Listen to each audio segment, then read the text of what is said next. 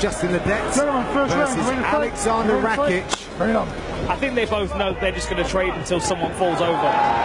Oh, look at this. The base completely away from Ledet.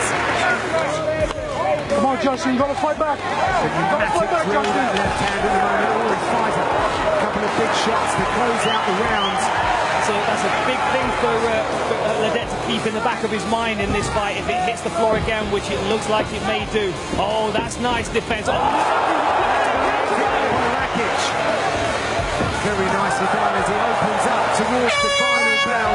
And there it is. And a winner By unanimous decision,